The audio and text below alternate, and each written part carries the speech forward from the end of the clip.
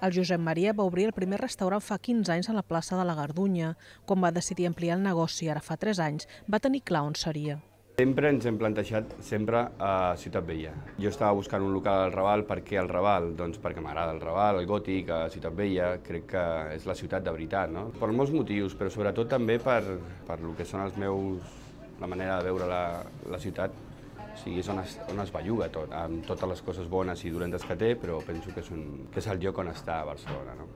Així neix el Bar Canyete, un restaurant de barra inspirat en els que visitava de petit amb el seu avi a Sevilla i van dir, vinga, va, ens fiquem amb això. I la veritat és que a l'hora de, de dir com ho decorem va ser molt fàcil, perquè era simplement és fer un local noble, que res sigui absurd, que res sigui gratuït, que el que hi hagi és perquè té que estar-hi i s'obri, no? i que la cuina sigui la que mana. Per això hem fet una, una cuina de show cooking, no?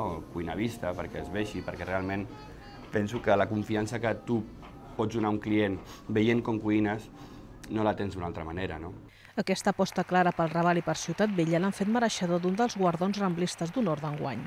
La veritat és que no vaig pensar massa quan m'ho van dir, però ara l'estic gaudint, no? perquè realment veus de que va haver un jurat popular que van escollir entre 20 persones i que, ostres, que va haver-hi va haver un consens, l'han fet amb carinyo. Clar, ara sí que estic gaudint aquest premi, molt, molt. No el porto aquí damunt perquè pesa molt, si no el portaria. El Josep Maria no fa plans a llarg termini. Diu que tal com està tot s'ha de viure dia a dia. Té clar, però, que li agradaria que el seu futur estigués lligat a Ciutat Vella.